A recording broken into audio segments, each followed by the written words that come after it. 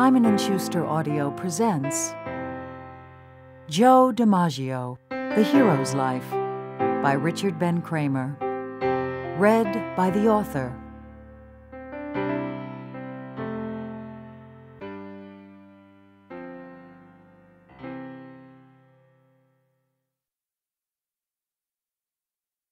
I remember the last public day of Joe's life, the last day of that splendid Yankee season, a sunny Sunday in the Bronx, September 27, 1998, Joe DiMaggio Day.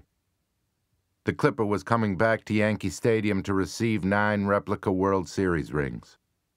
The story was DiMaggio had left his original rings in his suite at the Hotel Lexington back in the 1960s, and someone stole them all except the 1936 ring from Joe's rookie year, which was the only one he ever wore. He wore that ring for 61 years straight. He had the ring on that Sunday as he rode around the warning track in a 1956 Thunderbird convertible. He wore a jacket and tie, of course, and held both hands above his head, half a wave, half a blessing, like the Pope does. He'd part his hands, throw them open toward the crowd, both at once, so his thanks, his acknowledgment, and more, a whiff of his charisma, some glint of his godhood, would fly from him back to the crowd, to all those thousands standing on the steep tiers, in their shorts with their beer cups, cheering his name in the midday glare. Joe would say he was touched by their welcome, but they were the ones who'd feel touched by the hero. That was the last distant view he permitted. I didn't go anywhere near him that day. Didn't try to intrude, try to ask questions. We'd been through all that. Joe didn't want to help with biography. He didn't want to help anybody know his life. It was a smart move by a smart man. Canny, anyway. In latter years, he cultivated the distance that set him apart from every other celebrity. He was revered for his mystery. We cheered him for never giving himself entirely to us.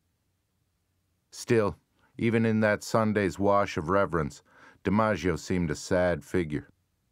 It wasn't just the effects of age, the way he'd shrunk, that bent old man who took his rings behind home plate and tottered off the field. There was no working microphone. Maybe the hero had nothing more to say. More to the point, it was his cloak of myth that had shrunk.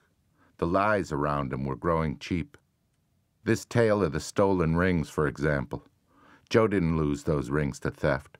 More likely, he traded them for free lodging, food, transportation, services of every kind. That whole Joe DiMaggio day wasn't about rings, but about history and Joe's need to win. About Mickey Mantle and the way Joe resented him. And money.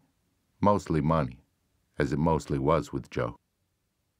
The real story went back to 1995 and the day the Yankees dedicated to Mickey Mantle the fourth monument in the history of the stadium. That was a big day at the ballpark, an emotional day. The Mick had just died.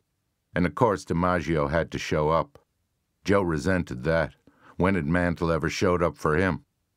But what really griped him wasn't Mickey's monument in left center field. He'd been offered a monument, but turned it down. He complained. Were they trying to bury him already? No. What set Joe to seething was the special ball they used in that day's game.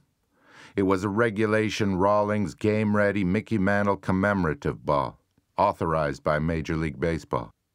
Right away, the collectors and dealers in memorabilia bid those balls up to 300 per.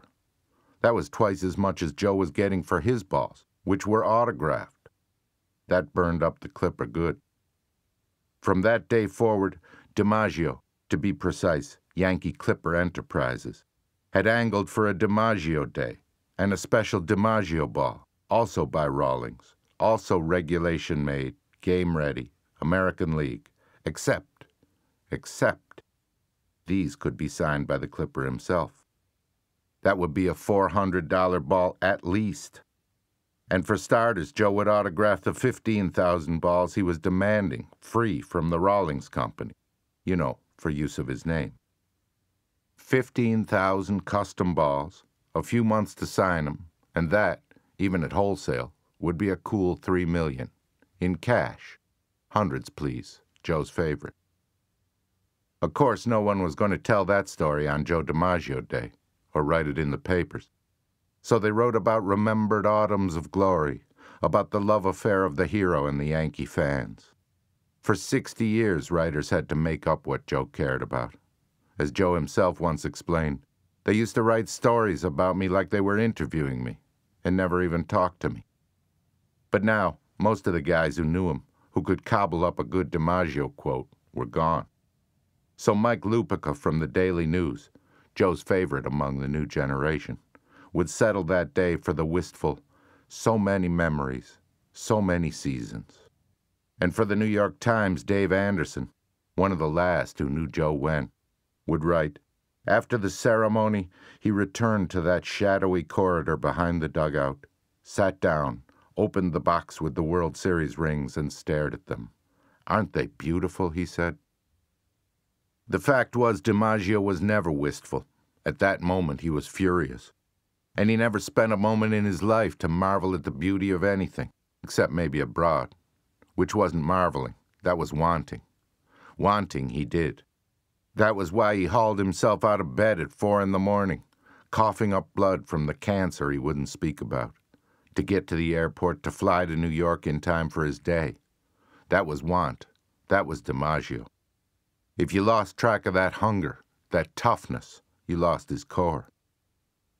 There wasn't another 83 year old in the country who could have held up that day, looking good. Not with Joe's irritated eye, something like chronic conjunctivitis the old arthritis, the scoliosis that hunched his back into a painful curve, the pacemaker that kept his heart beating, the Lasix, a horse diuretic that kept the fluid away from the pacemaker and made Joe pee seem like every 10 minutes. And now the cancer that he would only call pneumonia. Maybe he had pneumonia too. That wouldn't have mattered. Joe was going to make it through. Nobody else had his grit. He always played hurt or his focus, Joe would bring those balls home. Nothing stopped him, nothing turned his head. You could admire him for that. He was one of a kind. I also remember the day five years back when I was starting this book, first asking about DiMaggio. I had a long, rambling interview with an old baseball man named Frank Slocum. He'd spent his whole life in the game.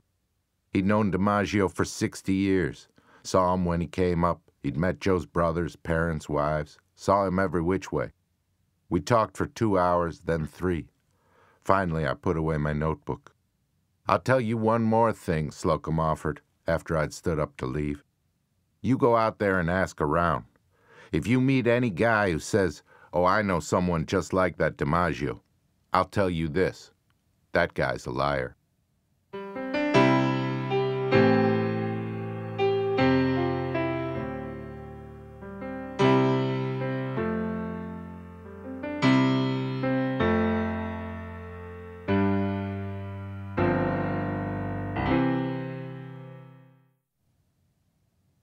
Joe DiMaggio sat on the tar in the North Beach playground with his back against the wall on the Powell Street side, his legs cocked in front of him like a couple of pickets. At 15, Joe was mostly legs, leg bones more like it, and a head taller than his friends. It was Niggy Foe who gave him the nickname Coschilunghi. That meant long legs in Sicilian. Joe was at the playground most days, but like today, not exactly with them. He'd come out of his house down the hill from Taylor Street, but he'd sit apart, watching in silence, arms draped across his knees in a pose of solitary sufficiency. Joe could play, but you had to get him to play. The reason he'd play was he wanted to win something. Sometimes everybody threw in a nickel or a dime, and they'd play winner take all. Then Joe would play for sure. But playing just to play? Well, mostly he'd sit. On the left, past third base, was the boys' bathroom. Joe spent a lot of time in there playing cards. Joe was good at cards, but that was like baseball. He wasn't just playing. Joe and Niggy Marino used to box the cards, fix the deck, or they'd play partners and kick each other to signal for discards.